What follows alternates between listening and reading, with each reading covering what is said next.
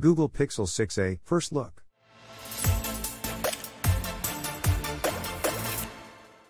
Hello guys, I hope you are all doing great. We are back. It's been less than a month since Google unveiled the Pixel 6 and 6 Pro and placed them on sale. Some customers who had made pre orders on the day of launch itself are still waiting for their Pixel phones to be received.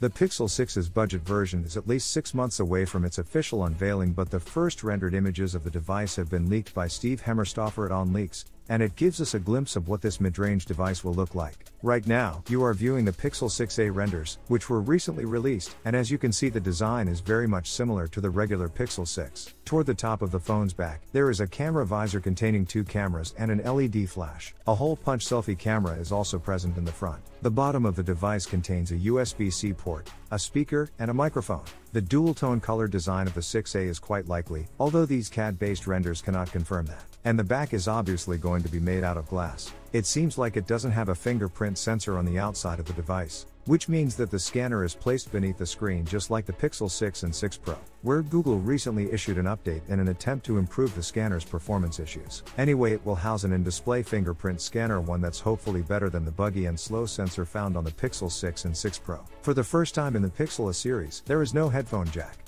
Pixel 6a could be the first mid-range Pixel device arriving without a headphone connector if the rendered photos are accurate. I mean all the previously released devices, the Pixel 5a, 4a, and the Pixel 3a all had headphone jacks. In my point of view, the Pixel 6a's size may be the most intriguing aspect of this announcement. In terms of dimensions, the phone is expected to have a somewhat thicker camera bump of 152.2 by 71.8 by 8.7 mm. A 6.2 inch or else a smaller display is also expected in the 6a, compared to the Pixel 6's 158.6 by 74.8 by 8.9 mm dimensions. Compared to the Pixel 5a, which measures 154.9 by 73.7 by 7.6 mm, the Pixel 6a is even smaller. This is wonderful news, given that the size of both the Pixel 6 and the 6 Pro has been a common gripe for many. Moving on to the processing power, it is still a question that has not been answered. While Google is eager to tout the 6's custom tensor chip, it's not certain if the company would either create a low-cost tensor for the 6A or rely on third-party chips. With no news on a release date as of yet, remember that Google's Pixel 6 and Pro were just introduced last month.